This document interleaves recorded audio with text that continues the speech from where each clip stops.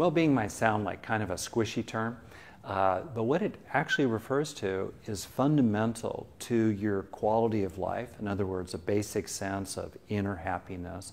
But more than that, well being is based on a sense of strength and resilience inside, that you can really deal with life's challenges. And well being is rested also in a sense of feeling cared about and caring. And these qualities of well being don't just help us, you know, be happy as we go through the day. They actually improve physical health, research shows. They help us live longer. They enable us to bounce back faster when things are difficult. Uh, they help us cope with stress better and be more successful, actually, in our careers when we have an inside out sense of well being. So, how do we get it? Well, we grow well being by building up psychological resources, mental strengths inside ourselves that are the causes, the foundations of well being. And that's why I created this program. I want to help you develop and grow inside yourself the fundamental factors established in science that can bring you more of the happiness, the fulfillment, the well being, in a word, that you seek.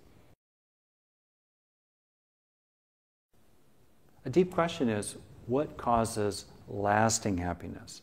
And if you look around you, you'll see all kinds of people who are chasing one experience after another, or one object after another, one purchase after another. And does it give them lasting happiness? Almost never. Why is that?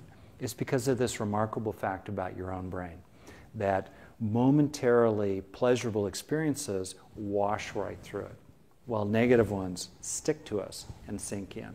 So, if we want to help our experiences in life our interactions with other people, and the various objects that we own, if we want to enable them to bring lasting happiness, we have to do a critically important thing. We have to slow down enough, three, four, five, ten mindful seconds in a row, to enable our experiences to actually sink in. Then you gradually fill that hole in your heart over time. You gradually scratch that itch over time, and then you can move through your life on the basis of feeling already fulfilled as you engage it. Already successful, already accomplished, already strong, already loved, already loving. And that's the fundamental source of true lasting happiness.